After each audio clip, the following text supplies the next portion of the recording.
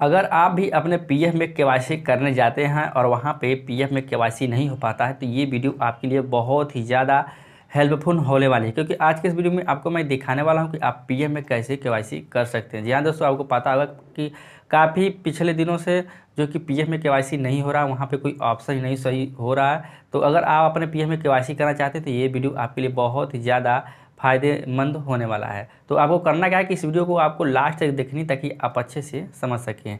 Hello everyone मेरा नाम आशीष है और आप देख रहे हो अपना YouTube channel tech way zone तो चलिए स्टार्ट करते हैं। वीडियो स्टार्ट करने से पहले दोस्तों, आपसे एक छोटी रिक्वेस्ट यार, आप वीडियो को लाइक नहीं करते हो तो प्लीज़ वीडियो को लाइक कर दो, चैनल पहली बार सब्सक्राइब कर लीजिए और हमारी इस मेहनत को सफल बनाइए। तो चलिए, अब मैं आपको ले चलता हूँ अपने वाले के सिम पे, वहाँ पर मैं आपको फुल प्रोसेस और स्टेप बाय स्टेप करके दिखाऊँगा। दोस्तों, सबसे पहले आपको क्रोम ब्राउज़र में चले जाना है। जैसे आप क्रोम ब्राउज़र ओपन कर लोगे, आपको सर्च बार में जानी है और यहाँ पर जाकर आपको टाइप करना है A P F O A P F O type करने के बाद आपको स्क्रॉल डाउन के नीचे आनी है। आपको यहाँ पे यू ए एन का ऑप्शन दिख जाएगा। इस पर क्लिक करेंगे।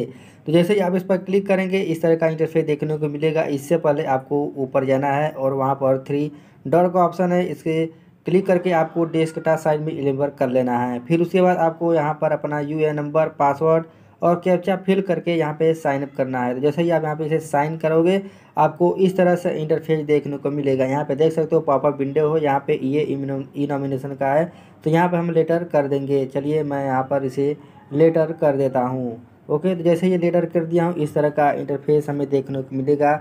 आपको यहाँ पे एक ऑप्शन देखने को मिलेगा मैनेज का। इस पर क्लिक करेंगे और उसके नीचे आपको दिखेगा तीसरे नंबर पर के वाई सी। के वाई सी पर क्लिक करने के बाद दोस्तों, यहाँ पर आप देख सकते हो, आपके पास ऑप्शन दिख रहा होगा, जो कि थोड़ा जूम करके मैं दिखा देता हूँ।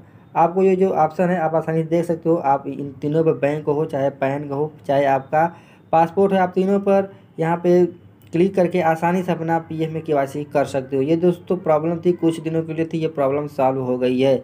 उम्मीद करता हूँ कि ये वीडियो आपको पसंद आएगी वीडियो पसंद तो लाइक करना, अपने दोस्तों के पास शेयर कर देना। मिलते हैं किसी नेक्स्ट वीडियो में, तब तक अपना ख्याल रखना। Thank you so much